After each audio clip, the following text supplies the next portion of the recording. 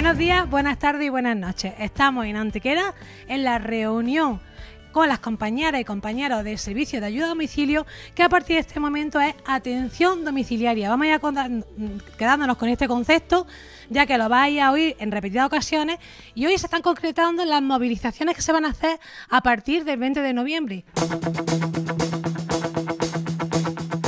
E invito a toda la militancia a que se unan ah, con nosotros y a convocar también a compañeros que no sean afiliados, a todos aquellos colectivos que se quieran unir a nuestra causa, a que nos apoyen. Eh. Sí, mm, comenzaríamos el 20 de noviembre eh, con una manifestación en Sevilla en defensa de los servicios públicos.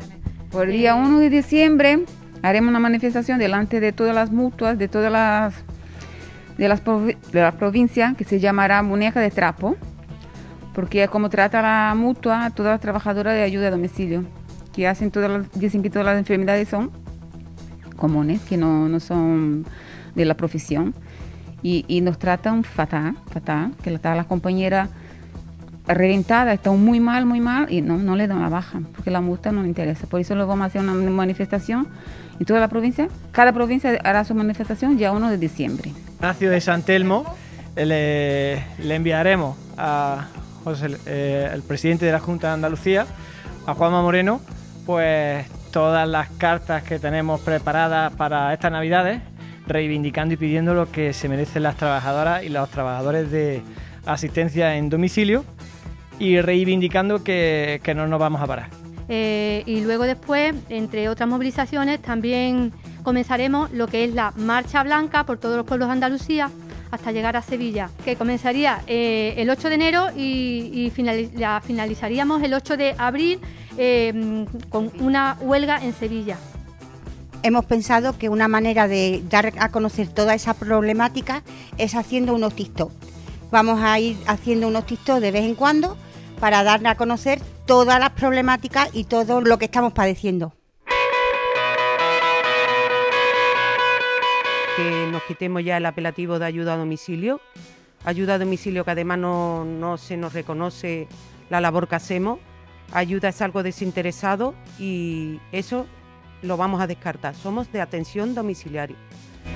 Que se nos escuche y que no seamos invisibles, porque ante los ojos de muchas personas somos invisibles. Después de la gran mentira que nos ha contado la Junta de Andalucía con la subida del precio ahora, que no ha sido para las trabajadoras y los trabajadores, ha sido para las empresas privadas y queremos que esto se reinvierta en nosotros. La dignificación se ve en el salario, porque al ser trabajadores trabajamos para un salario y un salario digno. Que esa subida ahora reinvierta en las trabajadoras y los trabajadores realmente, no en las empresas privadas es importante la municipalización del servicio de ayuda a domicilio. Eh, y bueno, empezando también porque se nos eh, asigne un nombre acorde con las funciones que nosotros desempeñamos, que se quite de en medio a las empresas voraces que tanto se aprovechan de nuestra situación y se quedan con una gran cantidad de dinero que debería de ir a reflejarse a nuestro salario y esa es otra de nuestras demandas que queremos exigir, que se nos suba, que se nos incremente mínimo a 10 euros la hora en el pago. Que tengan en cuenta que somos personas, que tenemos otra vida aparte de nuestro trabajo.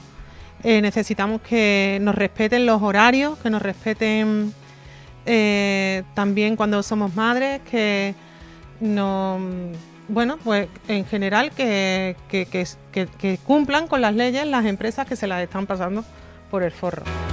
Que las empresas y los ayuntamientos dejen de castigarnos con sanciones, despidos y expediente totalmente falso, simplemente por represalia sindical y pedir nuestros derechos más básicos.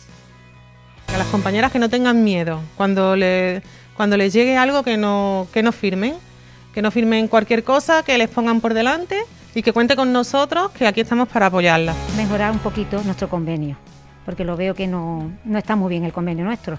Algunas compañeras en otros sitios Mm, tienen 35 horas semanales. Nosotros tenemos una jornada de 39. A ver si se pudiera mejorar un poco eso y algunas cosas más del convenio.